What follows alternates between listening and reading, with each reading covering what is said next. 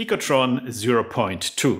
A surprise update to our beloved fantasy workstation has been just released. Picotron has been out for a year now, and this week we got a big present binary exporters. Like in Pico 8, typing out export mygame.bin will create standalone executable versions of your creations. Currently supported systems are Windows, Linux, and Mac. No Raspberry Pi versions though, so you know, Picotron on portables needs a little bit more time in the oven. But creating games and uploading them on public platforms like Steam is totally in the cards now. Finally, turning Picotron into a legitimate game engine. The exports will also run their own separate desktop environment that is fully sandboxed and does not interfere with your local Picotron installation. And that means that it should be possible to take advantage of that standalone desktop to create stuff like, you know, UI story games, like Her Story, Hypnospace Outlaw, or The Roottrees Are Dead. The door has been blown